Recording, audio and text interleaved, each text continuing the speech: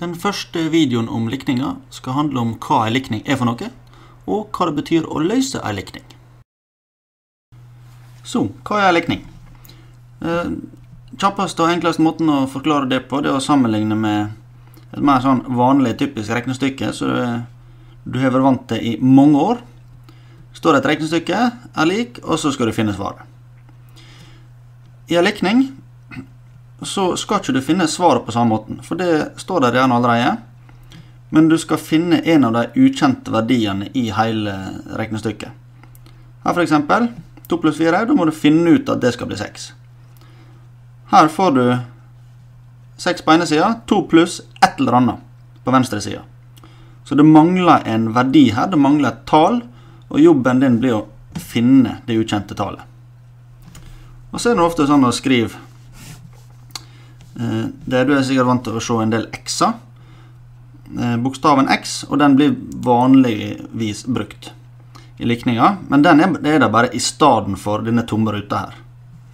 Altså det blir stående 2 pluss x er lik 6. Men eh, den x-en den betyr egentlig akkurat det samme som en tom rute. X-en står her og representerer en ukjent verdi, et ukjent tall. Så jobben din blir å finne ut hvor mye x-en må være. Hva betyr det å løse likning? Ja, det er å finne x-en. Altså finn verdien av x. Hvor stor må x være? Hva må verdien av x være for at dette her skal stemme? Og Noe av det viktigste, i en likning, det er dette her, likhetstegnet. Det betyr at det som står på ene sida, er likt det som står på andre sida. Så 2 pluss x det er akkurat like mye som 6. Eh, så hva må verdien av x være for at det skal stemme? Da finner vi ut at eh, det må være 4. Så da skriver vi at x-en må være 4. x er lik 4. Så det er måten å løse likninga på. Et siste eksempel her. 3 ganger x er lik 15.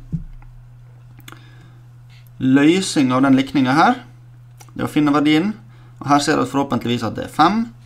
Så da er løsninga x er lik 5. Sånn.